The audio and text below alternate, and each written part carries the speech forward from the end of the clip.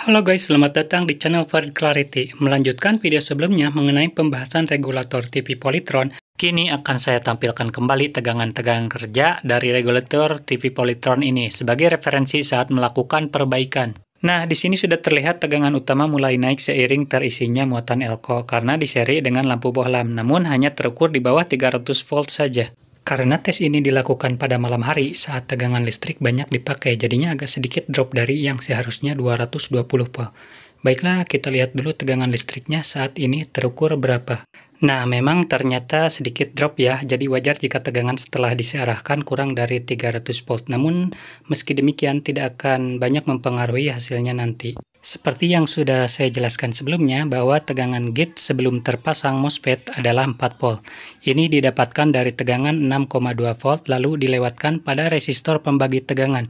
Hasilnya adalah 4 volt untuk tegangan starting pada gate MOSFET. Namun, setelah MOSFET terpasang dan bekerja, apakah tegangannya akan tetap?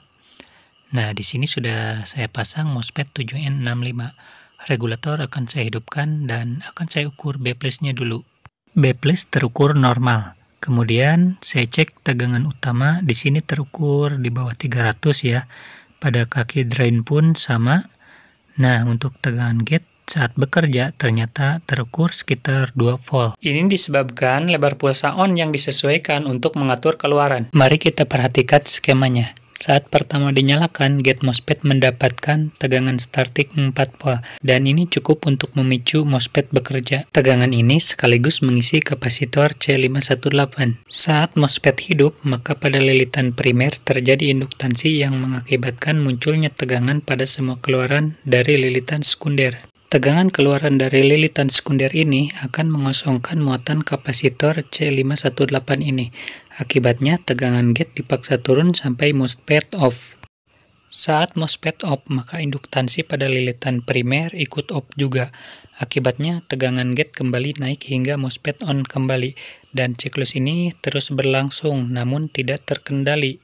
Untuk itu, kombinasi R524, D514, dan T507 membentuk pemotong lebar pulsa on dengan D514 sebagai batasannya agar tegangan keluarannya tidak lebih dari 160 volt. Bagaimana agar keluaran B nya stabil di 115 volt? Penyiarah D513, penstabil C516, pembatas R522, ke optocoupler membentuk penerima umpan balik yang diumpankan ke basis T507 untuk memotong lebar pulsa agar MOSFET bekerja untuk menyesuaikan keluarannya.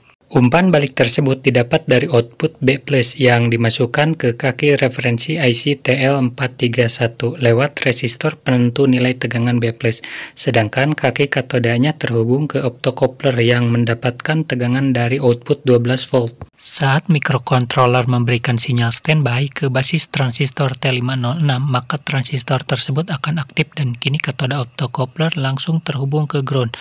Output optocoupler membuat lebar pulsa on pada gate MOSFET dipersempit. Dengan demikian, semua tegangan keluaran kini drop. Saat semua tegangan keluaran drop, Tegangan 5 VD harus tetap ada untuk menyuplai tegangan mikrokontroler selalu dalam keadaan standby.